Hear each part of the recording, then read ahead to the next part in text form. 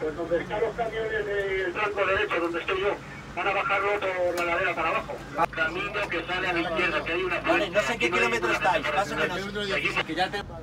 Bien, ¿lo vamos a sacar por la M611 o lo vamos a sacar por aquí arriba? Están, están.